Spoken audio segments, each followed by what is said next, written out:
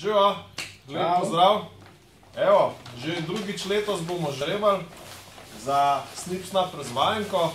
Uh, možnosti so približno 1 proti 300, koliko se vas je približno prijavili. Uh, pa mislim, da sem zdaj le enkrat ali dvakrat celo jaz žrebal. Tako, ja, tako da ne pusto ven. Tako da bo Mateoš zdaj le evo, potegnil, A kar akcija. Ha. pa da vidimo, kera bo imela srečo. srečnica? No, no. Februarska, ne? Februar. Ja, Februarja smo zdaj. Uuu. Uuu, hudo.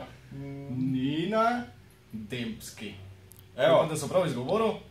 evo, Nina je tista srečnica, ki jo bomo zdaj le poklicali in jo bomo v naslednjih dneh enkrat razvajali. Če pa se Nina kaj premisle, da je mogoče na kakšnem potovanju, kje pa Pa ne je malo ni, premešal to, ne? bomo pa še eno rezervo za vsak slučaj. No, A bo tudi kakšna Nina za rezervo, da vidimo. Nina da vidimo. dosti pogosto. Ni Nina, je pa Je pa Tina. Tina. Tako in Tina Djokic. Evo, Tina je rezerva, zlata rezerva, če se slučajno Nina premisle, z katerega koli razloga. Uh, to je bilo to.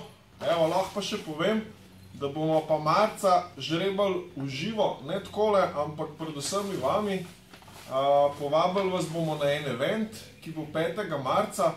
Podrobnosti pa še zveste, dobite obvestilo po mailu oziroma spremljite nas na našem Facebook profilu oziroma Facebook strani, če smo natančni.